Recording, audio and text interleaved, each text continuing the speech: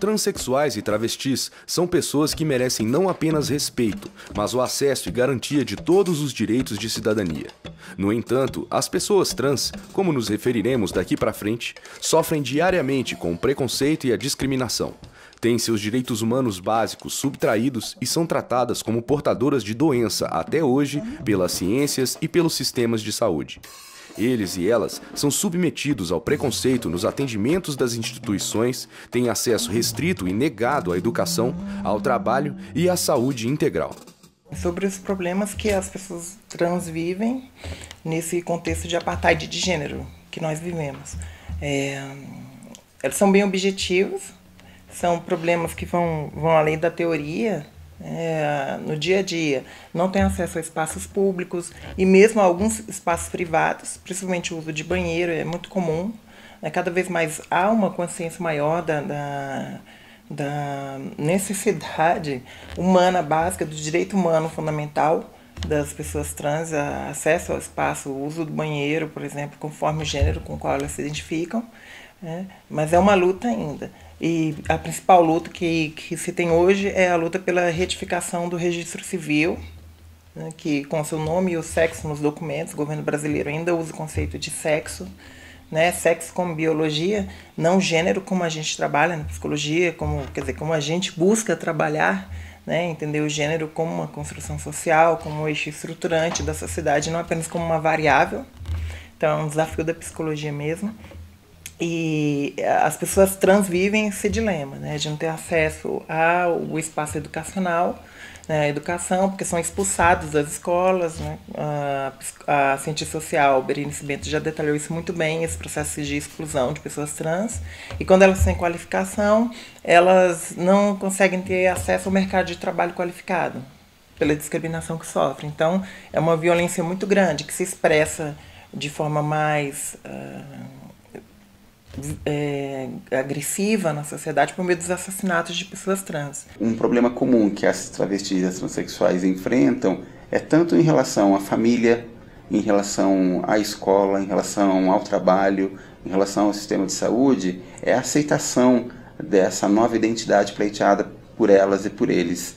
A sociedade tem muita dificuldade de aceitar esse deslocamento de gênero, né? sem partindo do pressuposto que se nasce homem, se nasce mulher, e é assim que tem que ser a vida, como se a sexualidade se restringisse a uma genitália. E ela não é, ela é muito maior do que isso. Os processos de estigma, os processos de violência simbólica, os processos de é, ter notícias permanentemente de violência, inclusive que chega às vias de fato homicida com pessoas transexuais, é evidente que isso coloca as pessoas transexuais numa situação de sofrimento. Né? Eu diria que isso é comum entre as pessoas transexuais. Né?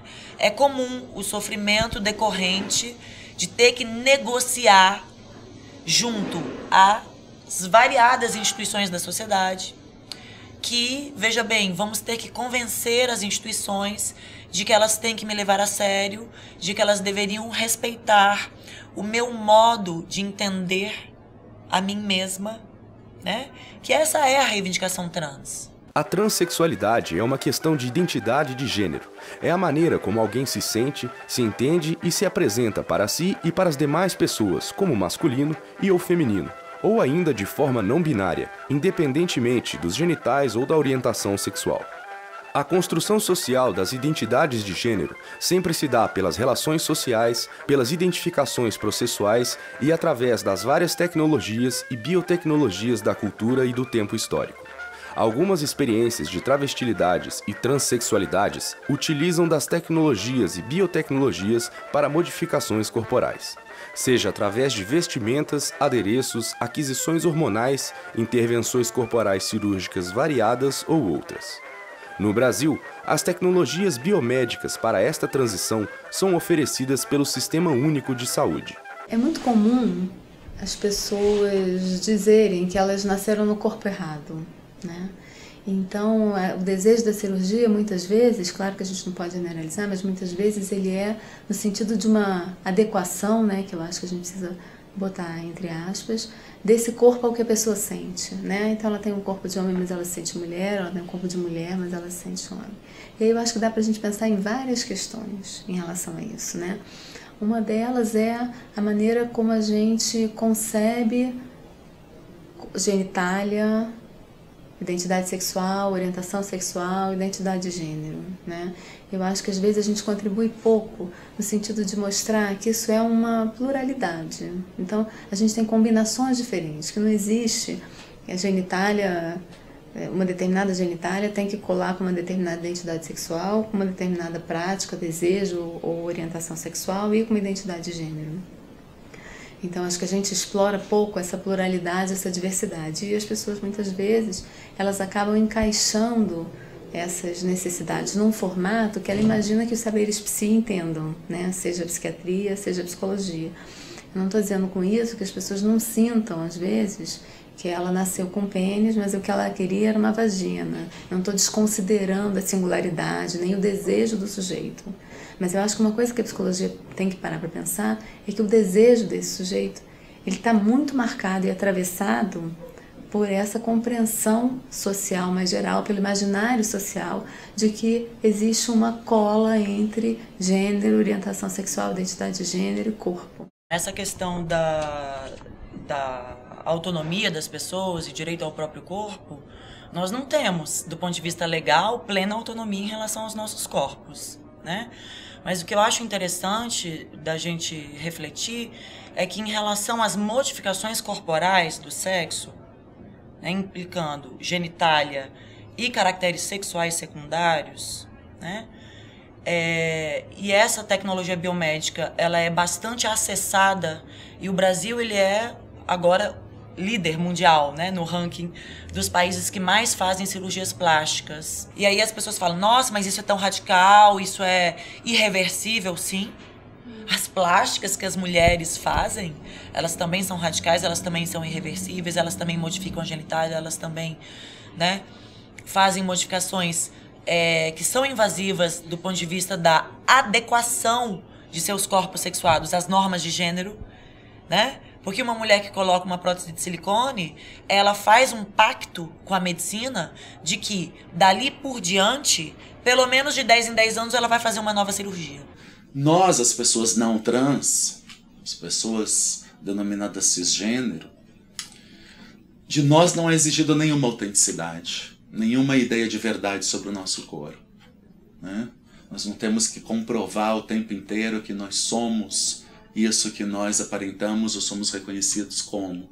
Né? Não é exigido de nós uma ideia de autenticidade, mas das pessoas trans, todo o processo, como ele é pensado, sobretudo no Brasil, e como que a ciência entra aí, os profissionais da psiquiatria e da psicologia participam aí, é exigindo a ideia de uma autenticidade, como se naquele corpo não contém uma verdade, contém um certo engano, então as pessoas precisam pagar não é? Para gente, às vezes com pedaços do seu próprio corpo, para medicina, para psicologia, com pedaços da sua própria história, para tentar nos agradar de que ali tem uma opção autêntica, ali tem um movimento autêntico, ali tem uma verdade sobre a sua transição. E no fundo, não há verdade sobre as posições de gênero. Todos nós, vamos dizer assim, estamos mais ou menos posicionados de alguma maneira, sem nenhuma verdade, nenhuma autenticidade completa. A Classificação Internacional de Doenças, CID, produzida pela Organização Mundial de Saúde, aborda a transexualidade como transtorno da identidade de gênero. Já o Manual Diagnóstico e Estatístico de Transtornos Mentais, DSM, aponta a transexualidade como disforia de gênero. Para garantir o acesso à terapia hormonal e às variadas cirurgias corporais, o sistema de saúde brasileiro baseia-se em resolução do Conselho Federal de Medicina, que considera o a transexual portador portadora de transtorno psicológico permanente de identidade sexual. O engajamento da psicologia nas questões que envolvem o direito ao próprio corpo e as identidades de gênero se dá, entre outros, pela despatologização dessas experiências uma vez que elas não constituem, do ponto de vista psíquico, nenhum tipo de transtorno. A patologização significa, na verdade, a negação da autonomia dessas pessoas em dizerem o modo que preferem viver.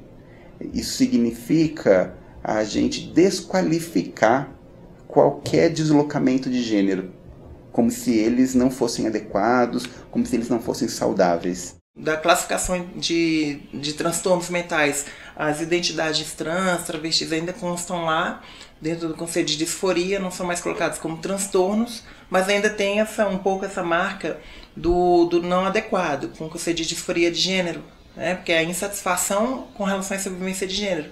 Quando na verdade a insatisfação das pessoas trans é com relação à discriminação que elas sofrem na sociedade. Né? Fazendo um paralelo, por exemplo, com a questão racial, que eu acho importante sempre fazer, é, as, é, seria como dizer que as pessoas se identificam como negras porque sofrem discriminação e têm sofrimento em serem negras nessa sociedade porque são negras.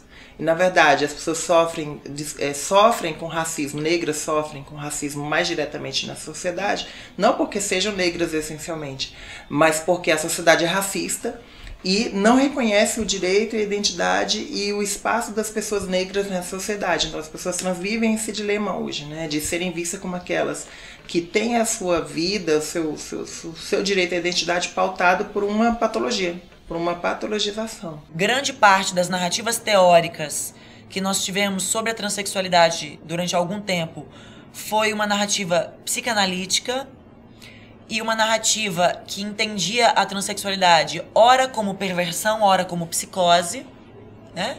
Quando eu fiz meu doutorado em psicologia e eu estudei essas narrativas e eu atendia pessoas transexuais, né? no serviço público de saúde. O que, que eu tenho a dizer sobre isso? Bom, do ponto de vista da minha formação psicanalítica, não a maior parte das pessoas transexuais que eu escutei, foram muitas, elas não se enquadravam na, na psicodinâmica perversa nem psicótica. Para mim era a neurose e a castração, assim, o, o a, a angústia de castração sendo enunciada pelo sujeito. Então não tinha recusa da castração e nem, ah, não estou percebendo que não existe diferença sexual. Não tinha nada disso, né?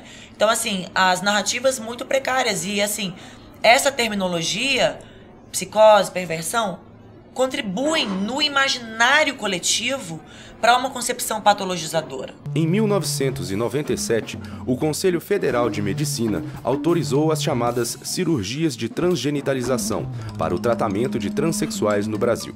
E as tecnologias biomédicas para estas transições começaram a ser oferecidas em 2008 pelo Sistema Único de Saúde. Esta grande conquista, no entanto, condicionou a assistência médica e psicológica às pessoas trans ao diagnóstico psiquiátrico e ao processo terapêutico compulsório por dois anos. Do ponto de vista da psicologia, um dos grandes desafios são os profissionais de psicologia se pautarem em preceitos do próprio campo de conhecimento. Porque o que a gente tem, em grande parte, profissionais de psicologia que se pautam na própria terminologia médico-psiquiátrica na condução de seus trabalhos. Então, do ponto de vista da regulação da, da, da, dos, dos, processos de assistência à saúde de pessoas transexuais, qual é a problemática que a psicologia tem? Na normativa do Conselho Federal de Medicina, eles nos mencionam. Então, eles vão dizer que para que a pessoa transexual faça uma mudança na genitália, por exemplo, que precisa do diagnóstico de transexualismo, que na verdade está dentro de uma matriz discursiva médica, não é a matriz discursiva da psicologia, né? Mas que nós tem, teríamos que diagnosticar com base numa terminologia de outra categoria profissional, que é, que é médica. Nós não precisamos trabalhar com DSM nem com o CID não é verdade?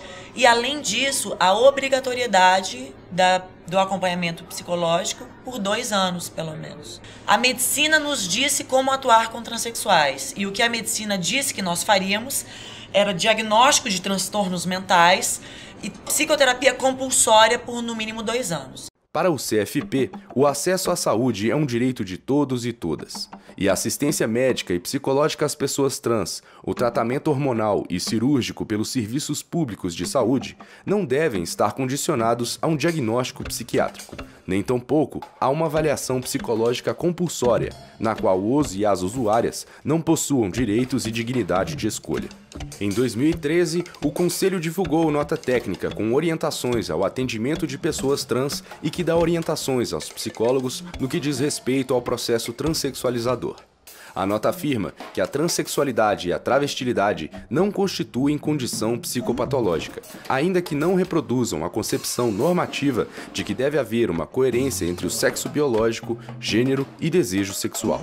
No entanto, ainda de acordo com a portaria vigente do Ministério da Saúde, os profissionais, psicólogos e psicólogas devem dar assistência obrigatória de dois anos de psicoterapia e fornecer laudos à equipe psiquiátrica da atenção especializada no processo transexual transexualizador. A psicologia tem que ter uma postura um pouco mais reflexiva em relação ao processo transexualizador, à medida que a gente pensa uma portaria fortemente influenciada um conselho uh, de medicina, que não é a psicologia afirmando qual é o papel que ela tem, ela está ali presente como parte da equipe, mas ela, a gente tem que dizer qual é o papel do psicólogo na equipe, né? e não apenas uh, seguir uh, os critérios internacionais, o CID.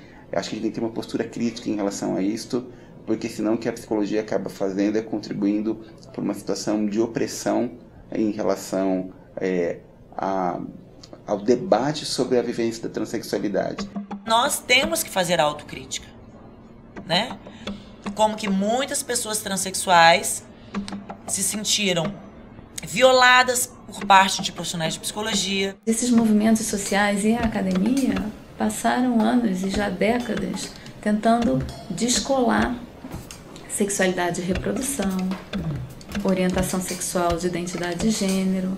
Quando a gente faz essa junção para falar da necessidade da adequação entre o corpo e o gênero, isso parece um grande retrocesso. Possivelmente quem mais produziu conhecimento no mundo e hoje na contemporaneidade, acho que isso é muito claro, sobre as experiências trans foram as próprias pessoas trans, é? que precisam falar publicamente, precisam ser ouvidas com a mesma legitimidade que os especialistas.